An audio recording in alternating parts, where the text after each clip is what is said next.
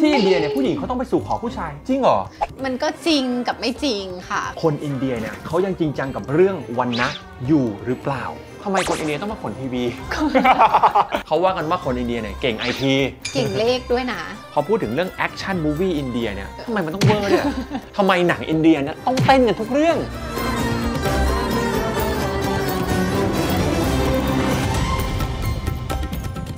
สวัสดีทุกคนนะครับจำมันได้ใช่ไหมครับเราเคยทำไขข้อสงสัยประเทศอินเดียไปกับหนุ่มลูกครึ่งไทยอินเดียที่ชื่อว่า A ไปนะครับ แล้วยอดวิวดีมาก ซึ่งผมว่าอยากทำ episode 2มาก ๆ เลย วันนี้เราได้คนแล้วครับ เย้ สวัสดีค่ะ ชื่อแซนดี้นะ อื คะ ม หนูเกิดที่อินเดียค่ะ แต่โตที่ไทยค่ะ แต่ทำไมพูดไทยชัดเหลือเกิน คนดูอาจจะสงสัย หนูเรียนโรงเรียนไทยมาตั้งแต่อนุบาลถึงประมาณป อือฮึ .6 แล้วก็หลังนั้นก็แบบ change ไปเรียนอินเตอร์ต่อ แต่ได้ข่าวว่าพูดฮินดีได้ด้วย พูดได้พูดได้ ก็ใช้ที่บ้านค่ะ อยากได้ยินสำเนียงฮินดีอ่ะ เออ แนะนำตัวเป็นภาษาฮินดีได้ไหมอ่ะ नमस्ते मेरा नाम सैंडी है मैं इंडियन born हूँ और मैं यहाँ रह रही हूँ थाईलैंड में แสดงว่าก็ยังพอมี culture อินเดียอยู่บ้าง งเออชอบมากชอบดูหนังอินเดียด้วยนี่มีในคำถามแน่นอนหนังอินเดียเนี่ยจะให้เต้นปะเนี่ยไม่บอกไม่บอกว่าไม่บอกว่าอะไรคำถามแรกของเราคือโอเคที่อินเดียเนี่ยผู้หญิงเขาต้องไปสู่ขอผู้ชายจริงเหรอ มันก็จริงกับไม่จริงค่ะ คือใน culture ปัจจุบันนะคะ ก็ไม่ค่อยมีแล้ว จริง ๆ มันมาจากฮินดูนะไอ้เรื่องนั้นนะคือมามัจากนไม่ใช่ฮินดูทุก religion ที่จะทำแบบนั้น มันเป็นตั้งแต่สมัยนู้นแล้วอะครับคือแบบประเพณีเขาก็จะเป็นเหมือนผู้หญิง ก็จะเป็นฝ่ายที่ออกจากบ้านไปอยู่บ้านผู้ชายถูกไหมอ่าอ่าอ่าแล้วคือวัฒนธรรมคนอินเดียปกติก็คือแบบถ้าเราจะไปที่ไหนอย่างเงี้ยอ่าเราจะแบบมีของขวัญหรือว่ามีอะไร ติดไปด้วยอ่าก็เลยจะเป็นฟิลแบบว่าอะเขาส่งเจ้าสาวเข้าบ้าน ผู้ชายก็ต้องมีอะไรติดไปด้วย ก็เลยจะเป็นสินสอดเปรียบเสมือนแบบของขวัญเหมือะอนไรกับว่าผู้หญิงอย้ายนี้บ้านไปอยู่บ้านผู้ชาใช่ยก็เลยแบบมีกิฟต์ให้ใช่แต่ว่าหลังนั้นมันก็จะมีการแบบผู้ชายได้มาแล้วอย่างเงี้ยอืมเขาก็ยังไม่จบอะคือเขาจะเอาอีกเอาอีกเอาอีกเขาก็มีการทำร้ายร่างกายนี่นู่นมันก็เลยมีกฎหมาย เข้ากฎมาอะไรอะเกี่ยวข้องว่าห้ามให้สินสอด แต่ถามว่ามันควบคุมได้ไหมมันก็ ไม่ร้อยเปอร์เซ็นต์ไม่เพร้อยราะอินเดียหรอกนะมันใหญ่มากใช่ Population มันก็จะยังเขาเยอะเป็นประเพณีอยู่อะอ่าแล้วด้วยความที่แบบแต่ก่อนมันจะไม่มีการศึกษาเรื่องอะไรอย่างเงี้ยครับคือผู้หญิงก็เลยแบบต้องพึ่งด้วยการแบบให้สินสอดเพื่อที่จะได้แต่งงาน สมัยนี้การศึกษาก็มาเกี่ยวข้องผู้หญิงคือไม่จำเป็นต้องงอละคำว่าสินสอดของที่ไทยเราก็เข้าใจได้นะใช่ที่ไทยจะเป็นฝ่ายชายให้ผู้หญิง ก็คือเหมือนกับว่าเพื่อให้ใช่บอกให้รู้ว่าผู้ชายคนนี้แบบมีกำลังมีที่กำจะลังแบบจะดูแลเขาได้อ่า เคยมีเพื่อนแบบเพื่อนคนไทยจะบอกว่าอืมเฮ้ยอยากแบบคบผู้สาวอินเดียจังเลยอ่าอ่าจะได้แบบได้สินสอดมีคนเซลด้วยเหรอพอพูดถึงเรื่องแต่งงานอะมันมีเส้นแบ่งไหมว่าแบบอายุ 30 แล้วครูต้องแต่งงานนะอะไรเงี้ยมันจะมีความกดดันจากสังคมมากกว่า เหมือนไทยอะมันก็มีไหมอะหนูมีแฟนยังจ้าอะไรอย่างเงี้ยมันจะเป็น feel Indian auntie ประมาณนั้นอะแบบแบบ Thai aunties ก็มีใช่ไหมที่แบบรอส่องเราอยู่ว่าแบบเมื่อไหร่มันจะแต่งถ้ามันแต่งแล้วเนี่ยก็ก็ถามต่อเมื่อไหร่มันจะมีลูกใช่ใช่มันก็ถามต่อไปเรื่อยๆเอาแล้วงานอะ เอาแล้วลูกอะ พอแบบลูกโตแล้วอะลูกแต่งเมื่อไหร่จ้าอะไรอย่างเอเงี้ยอคือก็ตามลูกเราต่ออะไรอย่างเงี้ยงานแต่งอินเดียได้ข่าวว่ามันหรูหรา อลังการงานสร้างมาก อืม ๆ มันขนาดนั้นเลยเหรอ มันอยู่ที่เงินในกระเป๋า โอ้โห เขาเก็บเซวิ่งไว้เพื่องานแต่งลูกเลย แต่งรอบเดียวก็คืออยากให้จัดเต็มไปเลย บางคนอยากจัดงานเงียบๆก็มี คือตอนนี้นึกภาพไม่ออกเนี่ยว่าการจัดเต็มของคนอินเดียเนี่ยมันมันขนาดไหนอะจริงๆมันมีประมาณ 3-4 วันน่ะ งานแต่งสามสี่วันเดี๋ยวนะเหนื่อยมากจัดนะ เต็มจริงเนี่ย อย่างแรกก็คือจะเออเป็นแบบแบนดี้ที่เขาจะเขียนแฮนนาให้เจ้าสาวแบบเต็มแขนเต็มขา อ่าฮะ มันก็จะมีวันถัดไปก็จะมีการแบบเออเต้นเต้นเต้นอะไรอย่างงี้เลอ่าดี้ไซกีดหรือว่าก็จะจะมี ring ceremony แบบอ่าใส่แหวนมีเอเต้อนละสวมแหวนอะไรอินเดียจริงอันเนี้เต้ยนเต้นเต้นสามวันสี่วันคือเต้นทุกเต้นงานเป็นประเทศที่เต้นเก่ง แต่ว่าที่อะมันที่มันสนุกจริงๆอะอืมมันคือเรื่องฉุกคนไทยบอกเฮ้ยนี่แต่งเบาๆหน่อยนะ เกินหน้าโดนเกินด่าตานะเจ้าสาวเจ้าบ่าวโดนด่ใช่ แต่นี่คือจะชุดสีเดียวชุดสีอะไรก็สู้เขาไม่ได้จัดเต็มเลยแล้วใช่ นี่เซิร์ชแล้วโอ้แต่มันว้าวมามักนเลยนะว้าวทุกอันนะจริงๆอะ มันคือว้าวจริงๆะชุดคือแบบจัดเต็มร้อย คำถามถัดไปเนี่ยมันจะซีเรียสหน่อยโอนะเคได้ แต่แอบอยากรู้มากเลยอืม คำถามคือคนอินเดียเนี่ยเขายังจริงจังกับเรื่องวันนะอยู่หรือเปล่า เพราะว่าเรื่องวันนะเนี่ยคนไทยเราก็เรียนมาตั้งแต่เด็กอะประเทศอินเดียนะมีหลายวันนะ อืมมีสี่กใช่ไหมษัตริย์สี่ใช่อืมมีพราหมณ์ มีกษัตริย์ มีแพทย์ มีสูตร มีจันทาน อืม ซึ่งแต่ละวันนะเนี่ยก็แบบแบ่งลำดับชั้นกันไป ใช่ใช่ถามว่ามันยังมีอยู่ไหมอืมมันก็มันก็มีนะ คืออมแบบถ้าเป็นผู้หญิงแต่งงานกับคนอืมที่วรรณะต่ำกว่าอืมคือไม่โอเค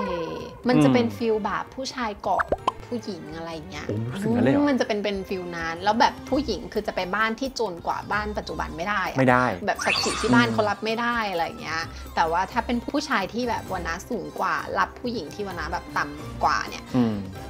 อืมมีนะเยอะด้วยแต่ผู้ชายคนนั้นจะต้องลงไปอยู่ในวันนะเดียวกับผู้หญิงหรือเปล่า ไม่นะคะ คือถ้าทางบ้านฝั่งผู้ชายแบบรับได้อย่างเงี้ยครับ คือก็โอเค แต่ส่วนใหญ่ก็จะเป็นแบบผู้ชายทำงานมาหาทำงานหาเงินอยู่แล้ว อ่าก็เลยแบบเขาไม่จำเป็นต้องหาผู้หญิงที่เลเวลเดียวกับเขาหรือว่าแบบอืม สูงกว่า เหมือนเคยได้ยินมานะ อืม ถ้าเราเป็นจันทานเนี่ย เราเกิดและโตหรือแต่งงานกับใครเราก็ยังจะเป็นจันทานอยู่แล้วไม่มีทางแบบว่าเปลี่ยนวันนะจากจันทานไปเป็นแบบ พรายกษัตริย์ สูตร คือหนูได้ว่ามันเป็นส่วนใหญ่มันจะเป็นที่ทาง village นิดหน่อยอือะมถ้าเป็นแบบซิตี้แล้วอะอืมคือจะไม่มีการแบ่งแยกชัดเจน อย่างที่ดีบอกอะแบบการศึกษามันเยอะทั่วถึงขึ้น ใช่มันทั่วถึงขึ้นอืมคนเรามันก็ไม่ได้แบ่งแยกคือ more human rights อะ แต่ถามว่าเรื่องการแบ่งชนชั้นมันก็มีทุกประเทศแหละหนูว่าใช่คืออย่างสมมุติว่าเวลาเราคิดถึงประเทศอินเดียเนี่ยเขาแบ่งชนชั้นนะกษัตริย์สูตรพราหมณ์จัณฑาลเรานึกภาพนะแบบโอ้โหเขาคงแบบอยู่กันคนละโลกกันเลยมากมันเป็นแบบที่ไทยไหมแบบที่ไทยก็คืออะมี eliteอืม middle class middle class คนแบบแรงงานแรงงาคนจนอ่าใช่มันเป็นแบบนี้ไหมมันก็เป็น feel แบบไทยแหละค่ะ คือถ้าแบบ community เขาหรือ social life เขาก็อืมอาจจะอยู่กับคนที่คล้ายๆเขาอืมนั่นแหละ มันไม่ได้แบ่งแยกเป็นคนละซีกโลกอะไรอย่างเงี้ยแต่ว่าจริงๆพวกชั้นวรรณะอะไรเนี่ยมันมีอยู่บนบัตรประจำตัวหรือแบบมันโอ้ยมีอะไรแบบนี้ไหมไม่มีค่ะแบบนั้นมันมันน่าจะแบ่งแยกด้วยการงานมากกว่าที่นู่นเขาแบ่งได้วยงานใช่ไหมที่ไทยแบ่งด้วยเงินใช่ใช่มันควรเป็นแบบนั้นของเราก็แล้วจะก็เป็นดูงานนามสกุลแล้วก็นำนำสกุลด้วยนะอ๋อนามสกุลคือเขาจะมีนามสกุลที่แบบ เฮ้ยเลเวลนี้แล้วก็อ่า เลเวลนี้อะไรนามสกุลอะไรดัง นามสกุลหนูค่ะ แซนดี้นามสกุลอะไรอะถ้าชื่อจริงก็เป็นซิม p พรีตอโรราไม่อโรชื่ราอดู grand มากอโรรา อโรราคือแบบดูหรูมากอะจริง ๆ คือมันเป็นนามสกุลในปัญจาบที่แบบ top top นะอะไรเงี้ยเออแต่ถ้าเรื่องเงินค่อยว่ากันอีกที อโรราตอนนี้เรานึกถึงร้านทองแล้วนะ ใช่ใช่อโรรา Aurora ใช่ พอพูดถึงเรื่อง action movie อินเดียเนี่ยทำไมมันต้องเวอร์เนี่ย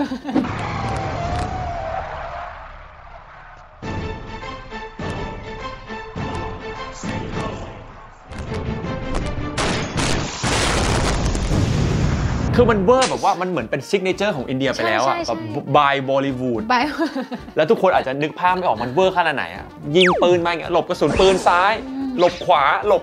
หลบหน้าหลบหลังคือแบบคนอินเดียเขารู้สึกยังไง คนที่มันติดเขาก็ติดจริงนะเขาก็จะมองข้ามแบบเรื่องนี้ไป แต่ว่าคนที่แบบเป็นคนนอกดูเข้าไปอะแล้วการที่เขาแบบหันมาสามรอบอะเออแล้วซูมทุกท่า ซูมเก่งด้วย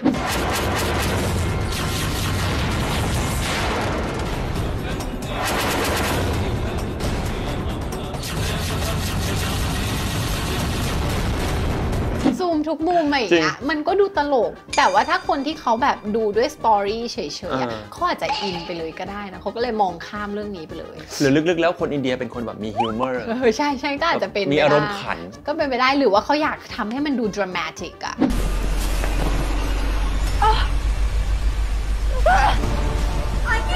ะไรอบไหเล่นใหญ่ไว้ก่อนอะไรอย่างนี้ เขาเล่นใหญ่จริงพี่อินเดีย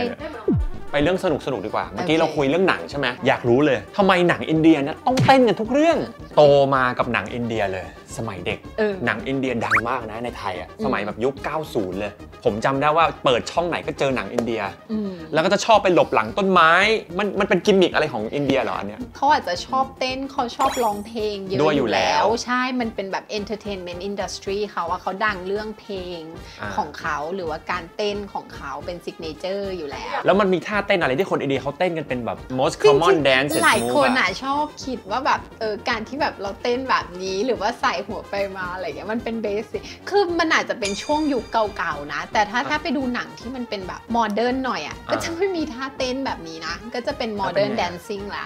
แต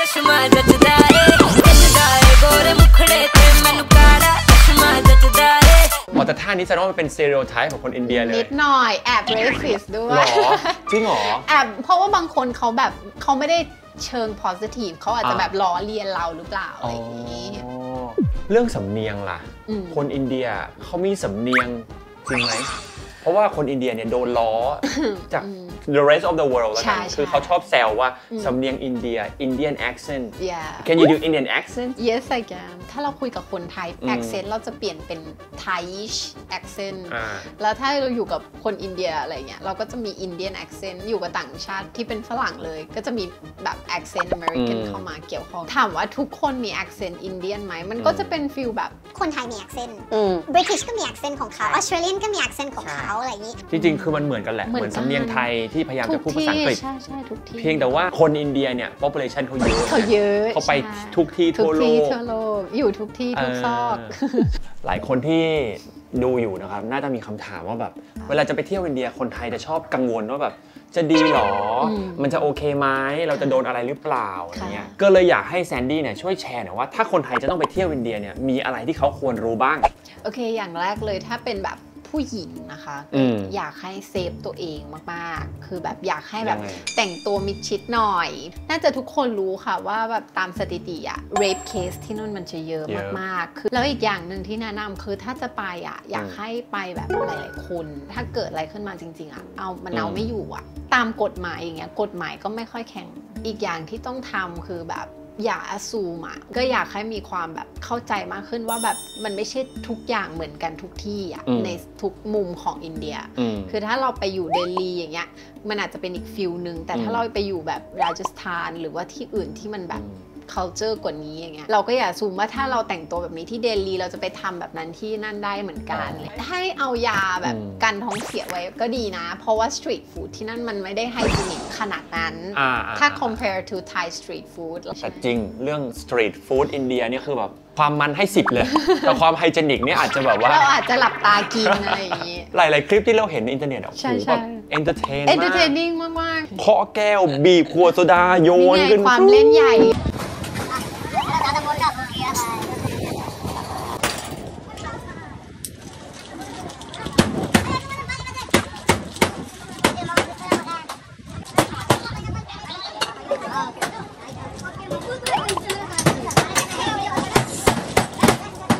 แล้วว่าคอแบนเรื่องของคนอินเดียเนี่ยคือมีอารมณ์ขันเล่นใหญ่เล่นใหญ่ค่ะคนอินเดียเนี่ยเขามาเที่ยวไทยเยอะนะช่วงโควิดเนี่ยเหมือนกับว่าคนอินเดียเนี่ยมาเป็นอันดับหนึ่งเลย รองลงมาในยคนจีนนะแต่มีคำถามคือทำไมคนอินเดียต้องมาขนทีวี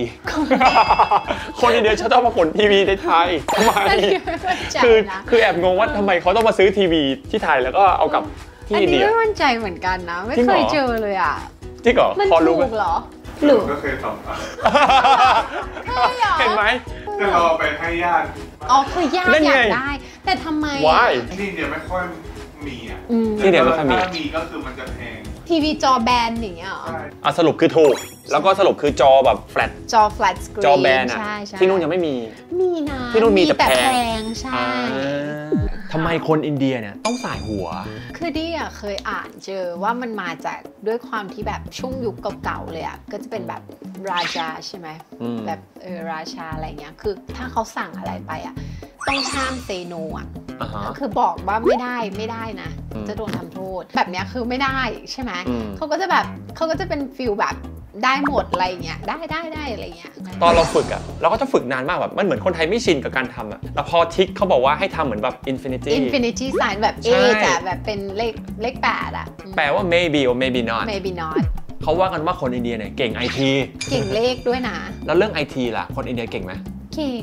ไอทีก็เก่ง engineer ก็เก่ง ที่อินเดียเขาก็จะแบบ ตอนเด็กๆก็จะมีความแบบกดดันจากทางครอบครัวนะว่าจะต้องเป็นหมอต้องเป็นแบบ engineer อืม like ต้องแบบเป็น lawyer ต้องเป็นอะไรที่แบบมัน upper class เลอืยมอะไรเงี้ยก็เลยมี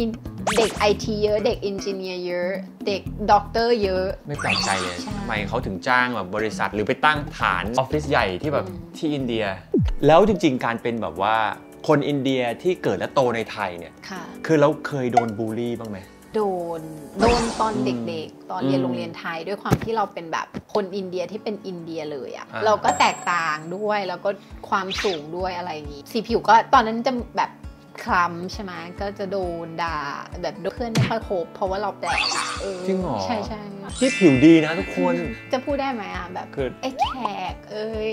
สำหรับดีอะมองว่า sensitive อืมมันเป็นเหมือน almost the N word for black people อะอืมมัน offensive ขนาดนั้น แต่ว่าคนไทยอาจจะมองว่ามันเป็นการเรียก foreigner เป็นฝรั่งอือะม เขาอาจจะมองว่าโอเคมัน normal ที่จะเรียกคนอินเดียเป็นแขกอืมอะไรเงี้ย เออ เหมือนฝรั่งเรียกคนผิวบางคล้เอ้ยอะไรเงี้ยอืมหรือคนขายถั่วเอ้ยอะไรเงี้ยำก็รณรงค์นะครับทุกคน ถ้าเจอเขาแบบเนี้ยก็เรียกเป็นชื่อเลยดีกว่าใช่อย่าไปเรียกเขาแบบนู้นแบบนี้แบบนั้นเลย คนฟังมันเจ็บนะ ใช่ใช่ใช่การที่แบบฟังไปแล้วแบบล้อแบบท่าเต้นหรือว่าอะไรเงี้ยเออแล้วแบบมันก็เป็นฟิลเหมือนคนจีนที่เขาโดนแบบนี้อย่างเงี้ยไอ้ตามันไม่น่าขีดรักอะเออ มันไม่ก็เป็นเอเชียนเฮดนั่นแหละ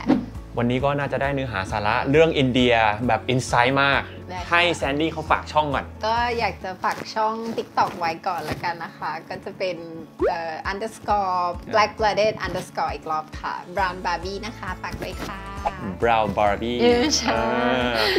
จากที่คุยกับแซนดี้นะรู้สึกว่าประเด็นสุดท้ายเนี่ย touch ใจผมที่สุดเลย เพราะว่าสมัยเด็กๆอะ่ะเราอาจจะเผลอบูลลี่ ใครไปโดยที่แบบไม่ได้ตั้งใจ ดังนั้นในเมื่อแซนดี้เนี่ยเขามาแชร์ว่าสมัยเด็กเขาก็โดนบูลลี่เหมือนกันนะอยากให้คนไทยทุกคนเปิดรับความแตกต่างความหลากหลายว่าเขาอาจจะหน้าตาไม่เหมือนเราสีผิวไม่เหมือนเรา แต่ว่าหรือเขาเป็นมนุษย์คนหนึ่งเท่ากับเรา ดังนั้นอย่าไปแบ่งแยกเขาเลย ผมเองยังไม่เคยไปอินเดียนะครับแต่ว่าก็มีความคิดว่าโอเค เราอยากจะเปิดใจในการแบบไปเที่ยวอินเดียดูเพราะรู้สึกว่าวัฒนธรรมมันหลากหลายมากไม่ว่าจะเป็นศาสนาผู้คนบอกโอ้โห ดินแดนประเทศเขาก็ใหญ่ด้วยนะ จริงๆ community อินเดียเนี่ยแม้ว่าคนไทยจะคิดว่ามันน้อยในประเทศไทยนะ แต่แซนดี้เขาบอกว่าจริง ๆ มันใหญ่นะ แล้วจริงๆ community อินเดียเนี่ยเขามีทั่วโลกไม่ต่างจากจีน มีหนำซ้ำ population อันดับหนึ่งของโลกตอนนี้อินเดียแซงจีนไปแล้ว ทุกคนครับ culture เป็นเรื่องสนุก ถ้าเราสนใจใส่ใจและตั้งใจศึกษามันขอบคุณทุกคนที่ติดตาม ฝากติดตามช่อง Slang Holic ด้วยนะครับ ช่องเราทำเรื่องภาษา culture แล้วบางทีผมก็ไปเที่ยวประเทศต่างๆ ครับ บ๊ายบายนะครับ Namaste